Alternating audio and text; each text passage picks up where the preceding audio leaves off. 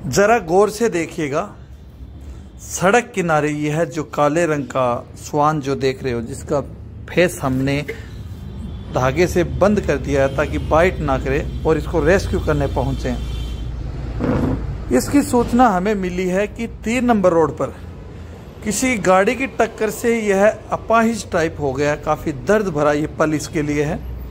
और दूसरी बात यह कि एक्सीडेंट होने के बाद इसे सड़क पे ही छोड़ दिया गया है।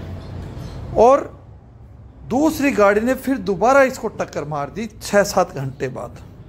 और एक या दो दिन से यह सड़क के ऊपर तड़प रहा था।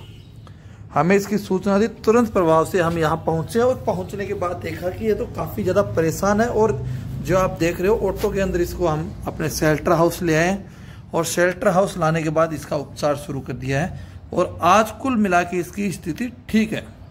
आप देख रहे हो इसको अलग से जो वार्ड दिया गया है, इसके अंदर एक अंधा डॉग भी है और इसको इंजेक्शंस दिए गए हैं और काफ़ी अच्छी हालात में भी ये है और हमारे शेल्टर हाउस में अपनी देख रेख में है।